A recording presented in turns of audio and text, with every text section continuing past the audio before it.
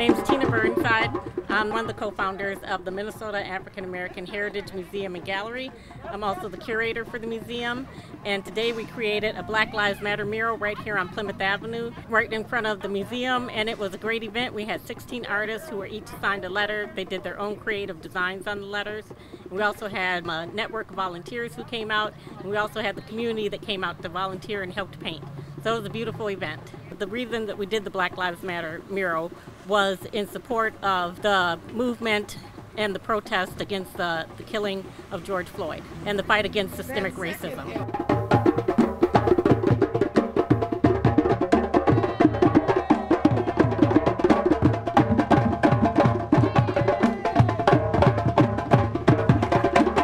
You know, being here for this cause, man, was a beautiful thing hopefully help some people heal a little bit and, and inspire people to uh, be more spirited in their, their response to things that should be happening. I mean, I'm honored to be a part of it.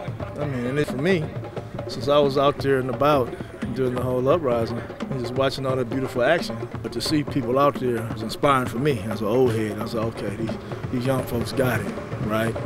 And so it's our job, at least I think in my head, to, to keep young brothers and sisters, you know, spirited. This is protesting peacefully, you know what I mean?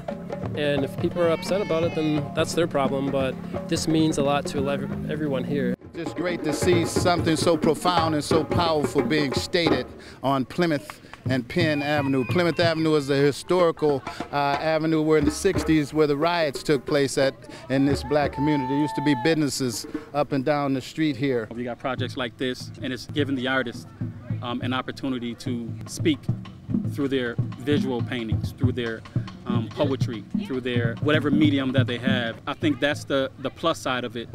Um, the, the downside of it is, is that the injustice and people are losing their lives in order for this to happen. So, you know, we need this to happen without people losing their lives, without black people losing their lives.